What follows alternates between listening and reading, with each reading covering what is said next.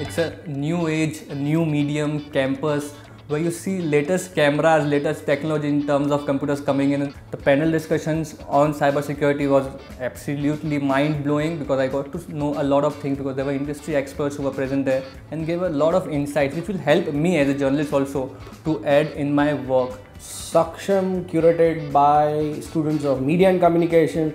I definitely feel in coming years will make society Saksham for fighting so many causes uh, which they undertake. And I think this is a very good novel idea and the hard work they put in will definitely give them good results as coming by.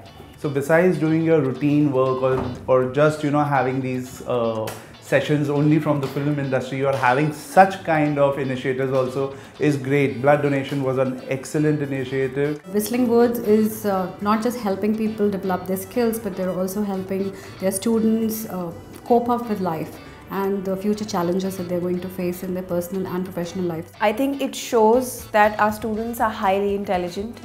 It shows that they are very, very creative.